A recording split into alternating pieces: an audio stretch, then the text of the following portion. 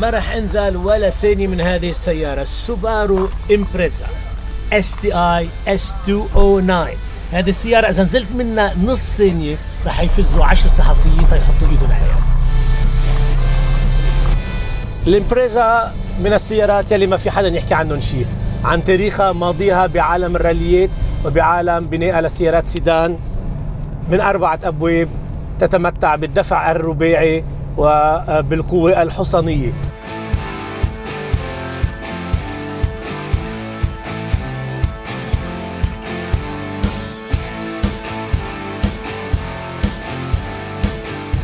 هذا هو الجيل الأخير من الإمبريزا اللي بتعرفوه قبل تقديم جيل جديد منها فلات 4 2.5 لترز الانجن بيولد مع ال S 209 341 حصان. هيدي أول مرة من عدة سنوات بتم رفع قوة هذا المحرك.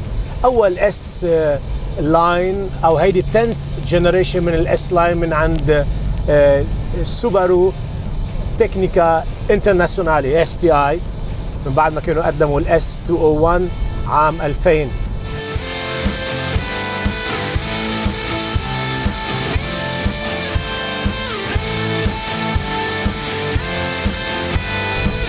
هذه السيارة collection car بالطبع.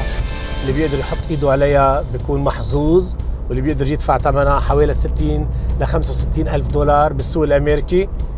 سيارة بتحسوا بس تاخذوا ال corners كل السيارة بتروح معكم كأنكم عم تقودوا go kart سيارة صغيرة ملتصقة مع الطريق.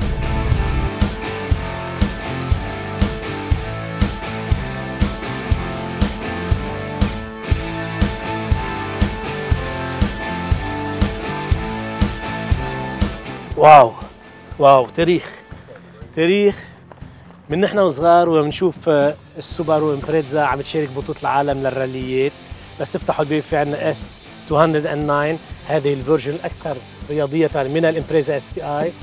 سقف من ألياف الكربون عاكس هواء من ألياف الكربون. في عندنا هذه الشفرات بالأمام يلي كلها عملية منا للمنظر. شوفوا هذا كله مدروس.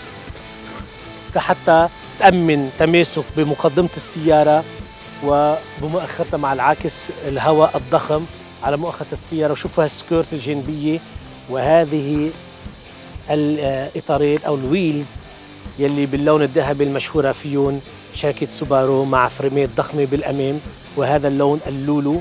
مش معقول السيارة رائعة.